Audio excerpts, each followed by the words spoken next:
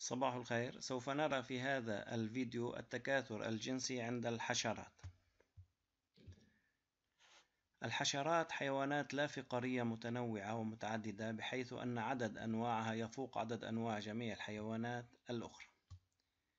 فكيف تتكاثر هذه الحشرات؟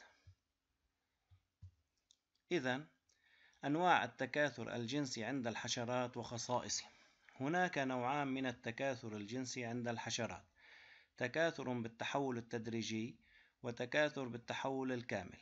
لكن لمعظم الحشرات خصائص تكاثر مشتركة نذكر من أهمها. تتم عملية التلقيح في الحشرات داخل جسم الأنثى ولما كانت بيوض الحشرات محاطة بغلاف سميك يمنع دخول الأمشاج بعد وضع البيوض فقد وجد في أنثى الحشرات عضو خاص يجمع الأمشاج ويطلق الواحد تلو الآخر ليخصب البويضة قبل أن يصبح للبويضة غطاء سميك مانع. تضع بعض الحشرات بيوضا غنية نسبيا بالمخزون الغذائي يسمح للجنين بإتمام تطوره قبل الفقس وبعض ويضع البعض الآخر بيوضا ذات مخزون غذائي محدود يسمح للجنين بتطور جزئي قبل الفقس. كم مرة تتزاوج ملكة النحل؟ وكيف تضع بيضا ملقحا مئات المرات خلال حياتها؟ إذا ملكة النحل تتزاوج مرة واحدة وهي تملك عضوا خاصا يجمع الأمشاج ويطلقها الواحد تلو الآخر ليخصب البويضة قبل أن يصبح للبيضة غطاء سميك. إذا هناك نوعان من التكاثر التكاثر بالتحول التدريجي كما في دورة حياة الجندب وتخلع صغار الجنادب جلدها عدة مرات لأنه يمنعها من النمو. يشمل هذا النوع من التكاثر الجنادب الصراصير والجراد. كما ترون عندما تفقس البيض يخرج منها جندب صغير يشبه الجندب الكبير ثم يبدأ بالنمو.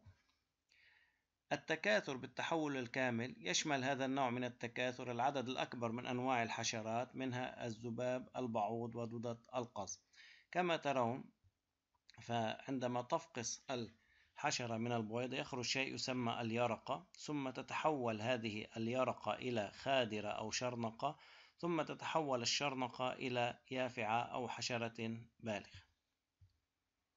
ضع جدولا يبين الفوارق بين التكاثر بالتحول التدريجي والتكاثر بالتحول الكامل. إذا في التكاثر بالتحول التدريجي البيض الملقح يعطي حشرة صغيرة. أما في التكاثر بالتحول الكامل البيض الملقح لا يعطي الحشرة مباشرة بل يمر بتحولات عديدة. جد علاقة بين البيضة ونوع التحول. في التكاثر بالتحول التدريجي يكون البيض غنيا بالمخزون الغذائي مما يسمح للجنين بإتمام تطوره قبل الفقس. أما في التكاثر بالتحول الكامل فيكون البيض بمخزون غذائي بمخزون غذائي محدود يسمح للجنين بتطور جزئي قبل الفقس. عدد مراحل التكاثر بالتحول الكامل كما ترون عند النمل. إذا البيض يفقس يعطي يرقة ثم شرنقة ثم خادرة شرنقة أو خادرة ثم نمل يافع. إذا المراحل هي بيضة يرقة خادرة ويافعة. شكرا جزيلا.